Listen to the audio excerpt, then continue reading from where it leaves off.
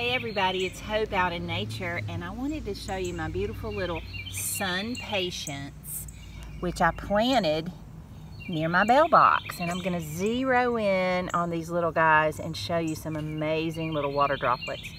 That's dew and that appeared overnight as a result of the temperature change here on earth and it's watering this plant without the plant even asking dew from heaven to keep these little guys alive.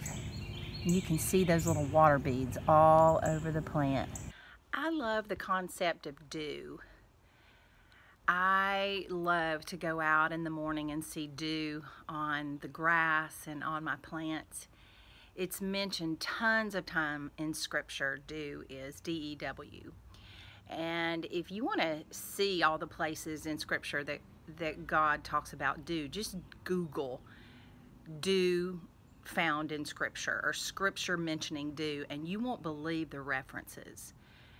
What I love about dew is it's not showy, it's not rain, it's not a thunderstorm, it's just these precious, quiet little water droplets that show up on the things that need nourishment and it actually plays a bigger role in keeping plants alive than rainstorms and thunderstorms.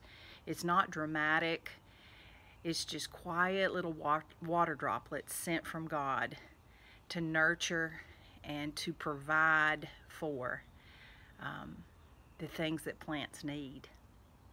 I'm reading right now from Psalm, excuse me, Proverbs 3, Proverbs 3 verses 19 and 20. By wisdom the Lord laid the earth's foundations. By understanding he set the heavens in place. By his knowledge the deeps were divided and the clouds let drop the dew. God knows how to help us. He knows how to care for us. He knows to, what to provide while we sleep.